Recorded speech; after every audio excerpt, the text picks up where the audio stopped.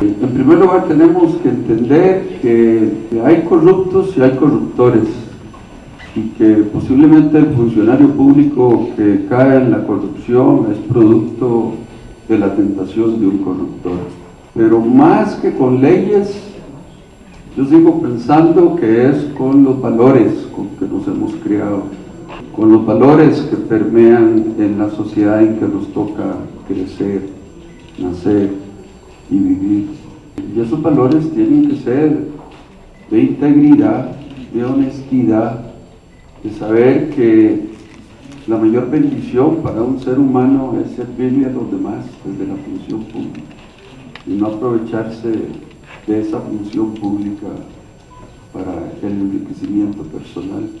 No es solo la corrupción entre el sector privado y el sector público.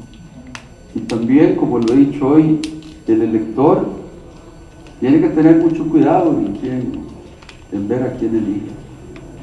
Y no solo el ejemplo de Hitler en el año 33 existe, fue el pueblo alemán el que lo escogió en elecciones libres.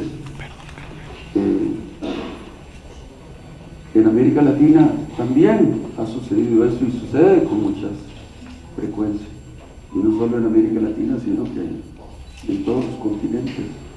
Así es que el elector también tiene que tener mucho cuidado, tener mucho criterio para no caer en la tentación de creerle al demagogo, al populista, al irresponsable que promete eh, cosas que él sabe de antemano que no puede cumplir.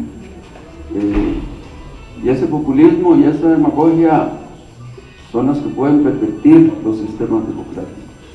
Y en eso tenemos que tener mucho cuidado.